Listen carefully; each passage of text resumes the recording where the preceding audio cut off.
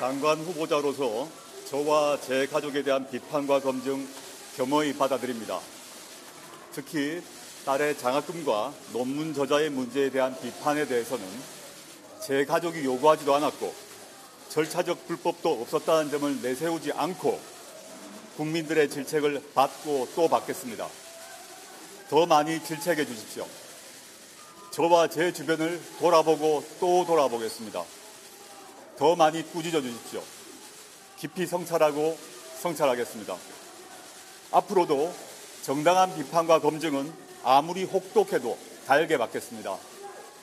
상세한 답변이 필요한 모든 사안에 대해서는 국회 청문회에서 정확히 밝히겠습니다. 그렇지만 보도자료를 통해 이미 밝혔듯이 제 딸이 문제 논문 덕분에 대학 또는 대학원에 부정 입학했다는 의혹은 명백한 가짜뉴스입니다.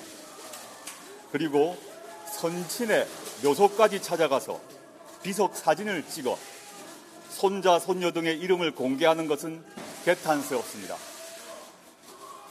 지금껏 저와 제 가족의 부족한 점을 꼼꼼히 들여다보지 못한 채 대한민국의 법과 제도 개혁을 위해서 앞만 보고 달려왔습니다.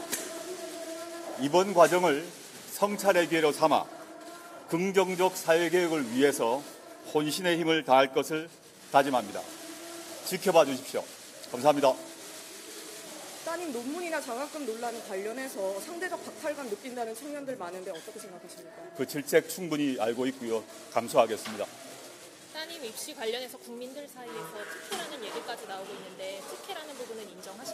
법적으로 어떤 하자가 없- 없다는 점은 이미 보도자를 통해서 밝힌 바 있고요. 그러한 질책 역시 제가 따갑게 받아, 받겠습니다. 대학원생 논문 관련이나 과거 SNS에 올리신 내용과는 배치된다는 따님 상황이 배치된다는 의혹 나오는데요. 국회에서 답변 드리겠습니다. 야권에서 사퇴 요구 거세지고 있는데 여기에 대해서